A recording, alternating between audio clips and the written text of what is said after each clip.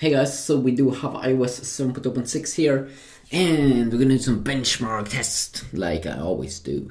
Or, I do it a lot of times, because people are interested, people want to compare against their own device, which may have an earlier version of iOS. Uh, so, iOS 7.6 should bring out an update to some kind of keylog thing that people will be able to track your whatever you were typing.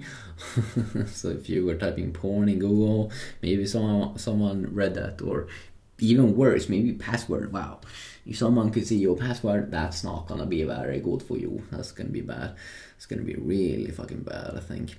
So we are going to open up Geekbench this little wonderful app, Geekbench 3, the latest version of this app. You can see here, start off iPhone model, iPhone 5s, iOS 7.6, Apple A7. It's still only dual core in iPhones, pretty interesting. Uh, gonna be cool when they go to quad core. Uh, one gigabyte of RAM, RAM, RAM. Yeah, that sounded like Swedish. It's because I'm a Swede. But let's run this test. I mean, we nerds, we always like higher and higher and higher score because it's just cool. It's just cool like that. I mean, we like it good high. We like that high feeling. Oh, we want that high feeling. Right now, I'm just trying to entertain you. I mean, I gotta do it. I mean, I made a lot of YouTube videos. You gotta try to entertain people sometimes. Pretty interesting single core score here, 1411. Uh, when I do this test on like the Sony Xperia Z Ultra, I get a single core score of 900. Uh, but it's a quad core device, so I get a total score of around 2800. Uh, but this device is just killing with the uh, with the cores. I mean, the cores are fucking bananas in this phone.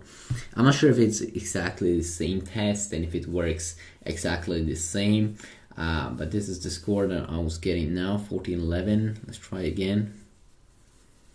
It looked bananas.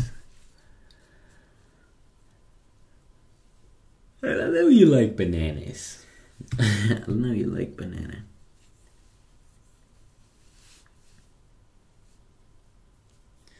I know you like the banana, the banana. Is this the banana? I'm not sure. I'm not sure. Okay, this score around 1410. So very, very identical. It doesn't jump around around that much as we usually see in Android devices. So uh, this is what we're getting in iOS 7.6. I don't remember what I got in 7.5, 7.4. Uh, but if you have a device running that, of course, you can just try it out, compare it maybe, and you can kind of see if they have increased or decreased something in the background maybe perhaps. Uh, it's just cool for nerds to see if something is going up so yeah quick click